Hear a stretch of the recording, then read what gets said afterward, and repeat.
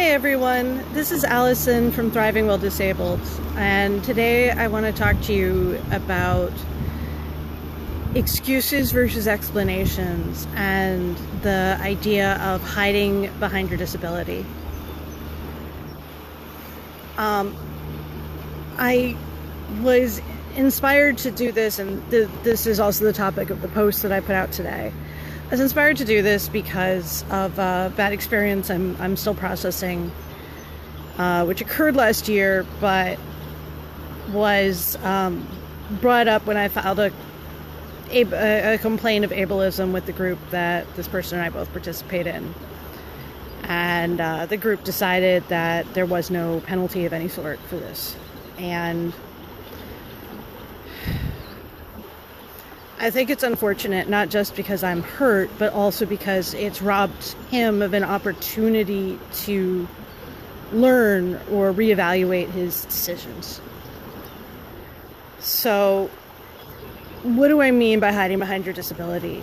Uh, what I mean by that is that there are definitely things that our disabilities legitimately um, make more challenging or make impossible. Uh, somebody who's a full time wheelchair user is not going to climb up a flight of stairs. Um, no matter how positive their mindset, no matter how, you know, much they wish they could or whatever, they're not going to do it. They can't because that is part of their disability. Uh, where it gets tricky is there's a lot of things that are scary to contemplate because of our disabilities or are more challenging because of our disabilities or um, take more energy because of our disabilities. And there are cases where saying, I can't do it makes sense. Uh, you know, times when you've tried something and the cost versus reward just wasn't worth it. As an example, there are a lot of people who use wheelchairs part time. There's not necessarily a problem that physically keeps their legs from working, but they may be dealing with a lot of fatigue, or it's very painful to walk, or other things where using a wheelchair greatly improves their quality of life. And so they use the wheelchair most of the time or on bad days, etc. And so they're not going to say, I absolutely can't walk because of my disability, but they are going to say something along the lines of, using the wheelchair gives me freedom. Using um, the wheelchair helps improve my quality of life. They're acknowledging their limitations, they're acknowledging the degree of their limitations, and they're moving on forward.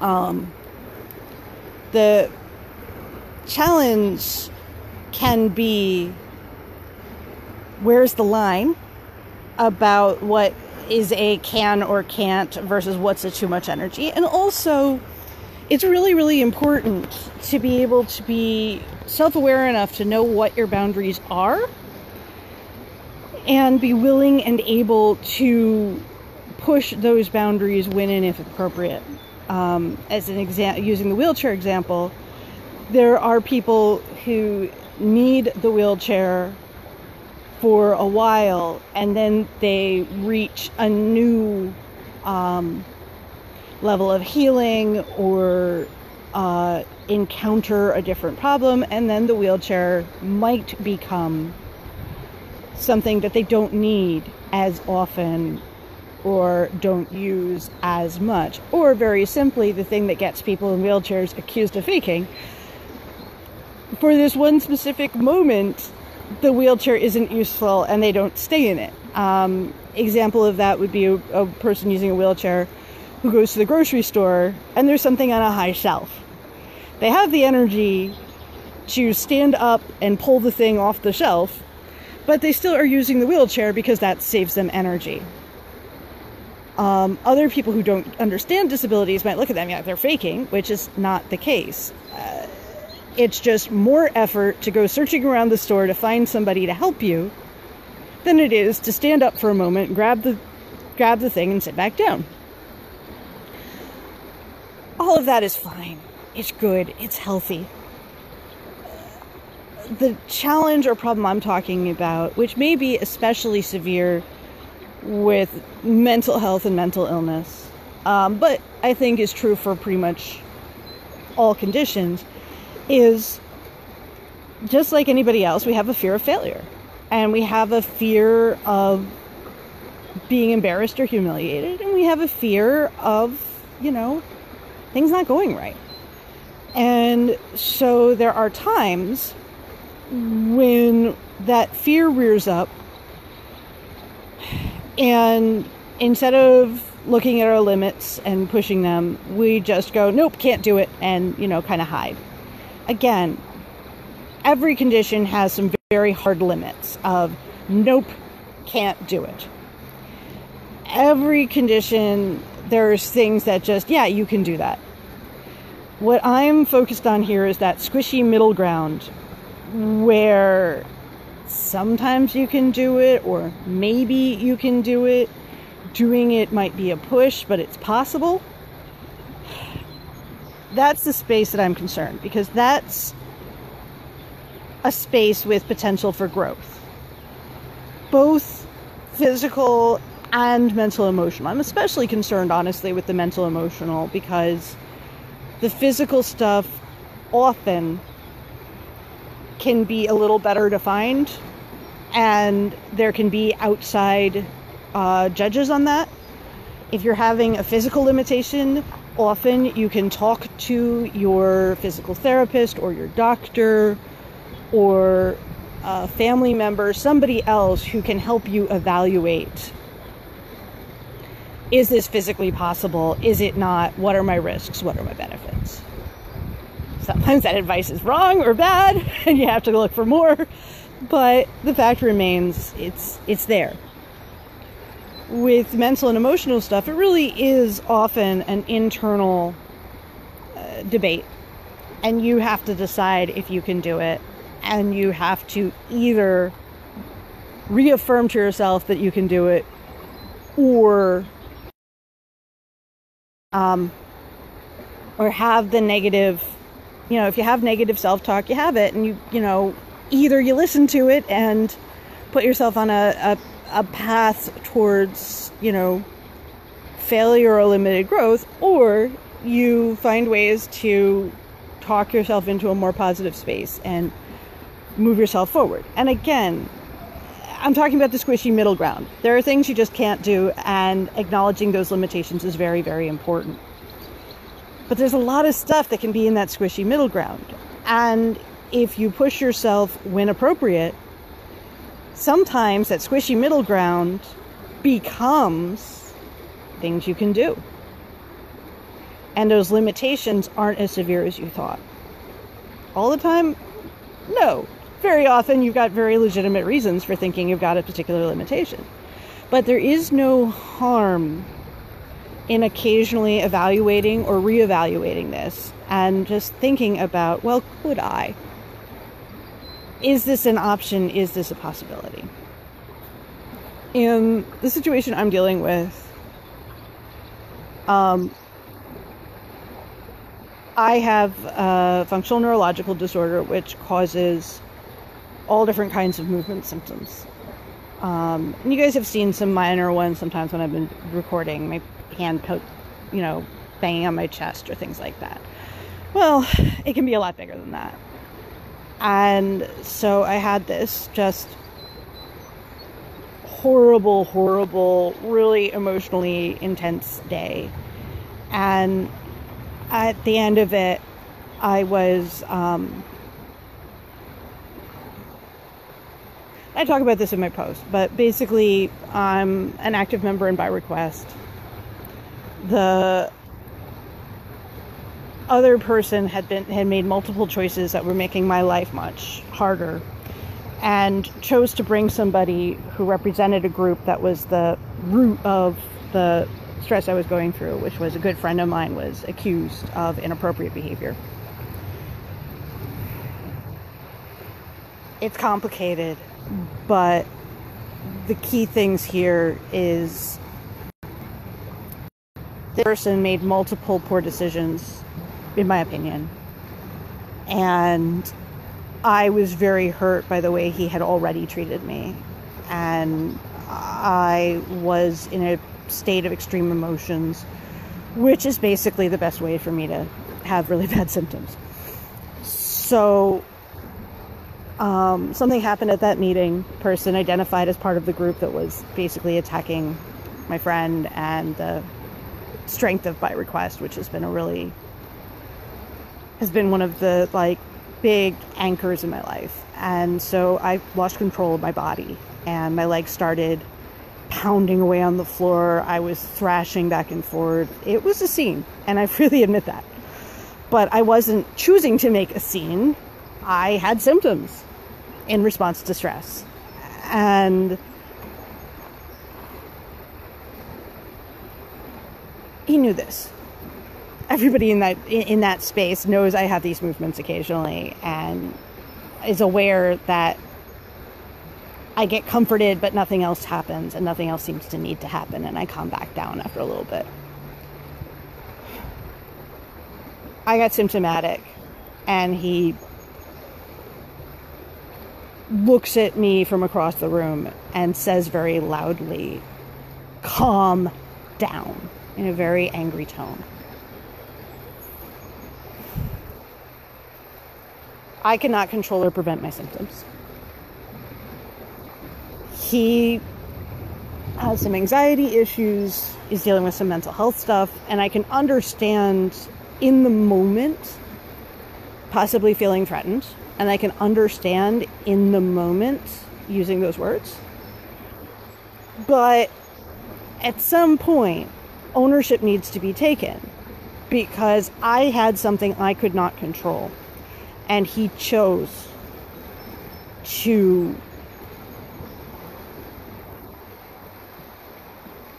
act as if my symptoms were intentional actions, which is denying my disability, basically. And he has never apologized, he's never taken ownership. Instead, he claimed victimhood.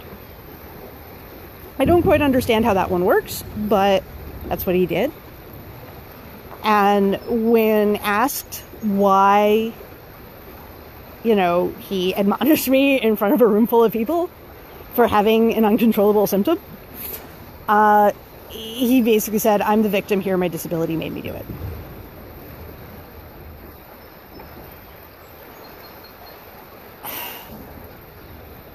His disability didn't make him say something. And his, he chose to say something because he felt apparently attacked. And the key here is yes, his behavior in the moment hurt me, but what I'm more concerned about is his failure to take any ownership of it. Um, he has never apologized to me in an acceptable way. He was guided word by word into an apology, but basically, he, what he kept trying to say was along the lines of, I am sorry that you are hurt rather than I am sorry that my words and actions hurt you. And that's a pretty important difference because it's about ownership. It does hurt me. But bigger thing is he's hurting himself. Well, the lesson to be taken, I guess, because, you know, I care about me and I, have reached a point of frustration with him. Um,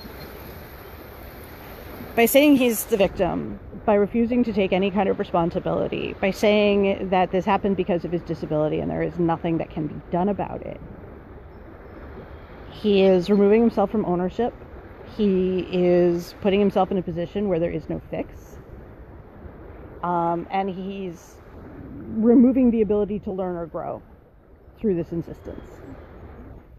And that's something I don't want anybody to do. I want people to grow. I want people to learn. I want people to move forward with their lives. And I know he's going to hurt somebody else at some point, and I'm worried about that person. Um, and honestly, you know, again, he's not going to learn, he's hurting himself. I do not deny that anxiety can lead to actions. What I am saying is being controlled by your anxiety means that you can't break out of it. Um, stating that something happened because of your disability when there's a step in between an opportunity for reflection, an opportunity for control, an opportunity for consideration is devaluing yourself and is hurting your ability to learn and grow. Um, what I mean by this is yes, I could not control or prevent the symptoms I had in response to his statement. But I could immediately identify why I got symptomatic. I was symptomatic because uh, the person who accompanied him to that particular meeting was part of the leadership of a group that was actively attacking my friend's credibility. And in doing so, was actively attacking this group that I have, you know, put so much time, effort, and energy into. And so that attack, that, that, that attack by their presence, by that name, triggered emotionally a very strong negative response because I'm afraid of losing my primary support network. And I've lost it. In all honesty, I, have lost it. Because they didn't take him to account for his behavior. And I no longer feel like I can trust the other members of leadership because of that. Not necessarily individually, but as a group.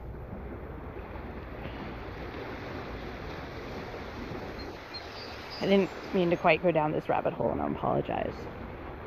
What I do with my symptoms is I take responsibility for the effects they have, even though I cannot prevent them from happening. What do I mean? I mean, if I get symptomatic in a space that's tightly packed and I brush into somebody, I apologize to that person for brushing into them because I did.